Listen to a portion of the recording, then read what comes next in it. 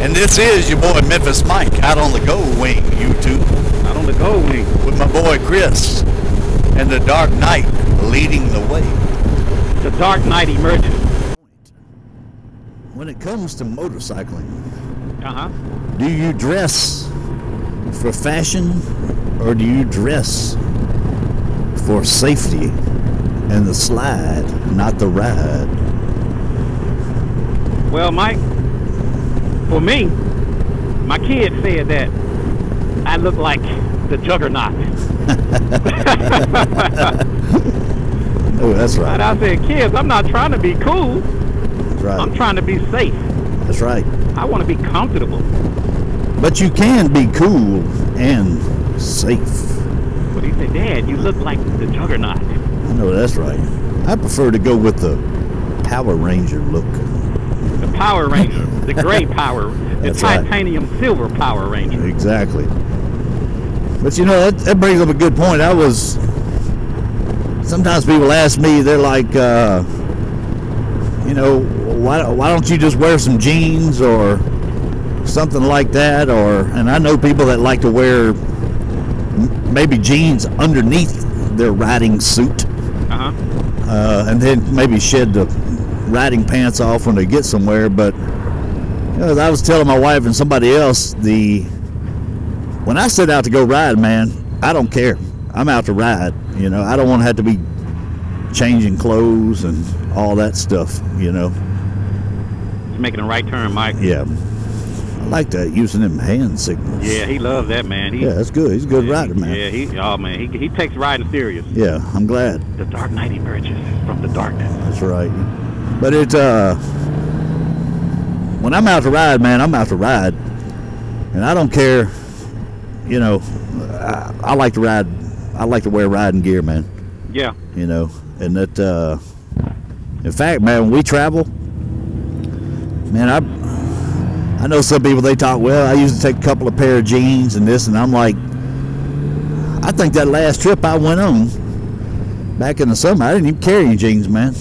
Oh you didn't? No, man. I just I took my mesh riding pants and just uh some long long silk underwear liners, you know. Mm-hmm. I thought because I'm out to ride, man. I don't care. I ain't trying to get back to the hotel and dress up for dinner, all that mess. You know what I'm saying?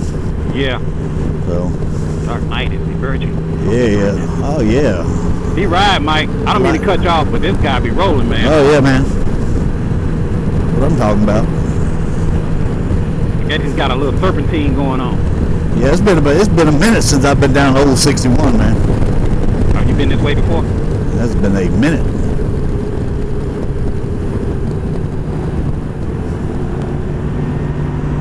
But uh, yeah, I just like to wear gear, man. Yeah. And it, uh, but it, uh, in fact, I, I brought up a point. You know, they're going back to every year. I think it comes up on in Tennessee about the helmet laws Uh huh. and everything. You know, uh, about wanting it to be, you know, the rider's choice. Right. You know, because it's a it's a law in Tennessee we got to wear. Yeah, You know, that's true. I kind of threw the topic up, and you know, my take on it is, man, I guess yeah, maybe it can be your choice, maybe it should be your choice, Mm-hmm. and I guess the issue is, you know, they don't want somebody telling them what to do. When in essence, when in essence, it's probably the the insurance companies that are pushing for these laws, because you know, you go down and bust them brains up, it's going to cost somebody a lot of money. Yeah, you know, and you know what I never thought about? I never thought about it like that, Mike. Yeah. I mean, it's the same thing with the seat belts, you know. Oh, okay. You know, I never, I never thought about the insurance companies Right. pushing for that, right. and it would probably raise the rates up higher if Yeah. you know if, if they didn't. Well, and they, they also talked about in the Mid South how it really, you know, how it really, even if you're, say, in Arkansas or whatever, Uh huh. it costs Tennessee money because, you know, we've got the med, that's the trauma center, Right. You know, and if, uh, man, if you're in a serious crash, uh, that, that's where you want to be is the med. That's right. You That's know, right. That's they, exactly right. They set up for that and uh, everything. But uh, you know, I just threw the topic out there to some of my Facebook people, uh-huh. and uh, you know, I kind of made the approach of, yeah, it may be our choice, but here here lately, you know, I told you my son had bought him a dirt bike, a little. XR 250, so he's kind of learning to ride. right. Well, you know, the first thing I told him, I said, you go riding, you're gonna wear a helmet. You know, and uh, you know what? You lead by example. That's right. You know, now I've got some I've got some buddies that, you know, they want to wear a ten dollar bucket, you know, novelty helmet and everything. And but you know what I tell them? That's your choice. That's all good. And uh, I don't judge anybody for whatever they wear, man. Yeah, a little bit of gravel going on here. Yeah, I see why he swung out like that. Yeah, yeah. I don't judge anybody though for what they wear or if they don't wear. That's right. I'm gonna ride with you. But uh, you know, for me, it's it's my choice. I'm gonna I'm gonna wear, man. And Yeah. uh, my wife's the same way. She's a she's a RN, and uh, she's like, you know what? You can you can fix a broke shoulder or a broke leg, but uh, I got to do it too for my family, man. As a matter of fact, speaking of helmets, you know, they had a kid. I was looking at the news just last night, and the kid was sitting on a car Yeah, or something, and the driver didn't know the kid was sitting on the car right. and pulled off, and the kid fell and hit his head. Yeah, oh, wow, And uh, the kid is in critical condition. wow. So he hit his head on the Yeah. on the concrete. Now how? Now don't ask me the details about. Well, Right. why did he see him? What time of day it was? Right, You know, was visibility 100%? I don't know. I can't give you no details. right. I only can tell you that the guy. Yeah. Uh, see what we got some gravel. Man, here. we got some gravel going on Yeah. here. The only thing I can tell you is that um, the kid fell, hit his head, and he's in critical condition. So, Yeah, you know, he wasn't riding a motorcycle, but the Right. point is, if you hit your head on the pavement, man, yeah, you know, you can't. That's, you know, that that that could be serious. yeah. And I don't, I don't, I don't want nobody having to feed me with a tube or, you know, That's right. anything like that. But uh, and everything. So it, uh, it's kind of my choice. That's just the choice I make, man. Yeah. You know. You know, it's it's it's like you said, Mike. It's your choice. Right. But you know, even with me, Yep. I'm I'm wearing my modular helmet. I don't care if it's a helmet law or not. Right. You know, I don't care if I'm doing five miles an hour, man. I'm I'm keeping my helmet on. Exactly. Exactly. So Yeah. what is that in the road? You know, and most of the time, most of the time I'm still in. I got my full pants and even my full jacket on as well. Right. You know, and it. Uh, and I was telling you earlier too. I've. I kind of went to Tour Master gear la- when I got my wing with the Uh-huh. Caliber Tour Master Caliber pants Uh huh. and uh, a Tour Master mesh jacket with a liner. It's got padding and all that. But uh, I tell you what, I almost sold all my Joe Rocket gear. When I got that, I thought, well, I don't need, I don't need two riding suits. But I ended up having to send my Tour Master pants to a tailor because I tore the zipper out, Uh huh. trying to get ready real quick. Uh oh. You know, going to work. Right. And you know they got these little cheap plastic zippers. Right. And uh, now I've gone back to my Joe Rocket and uh, excuse me.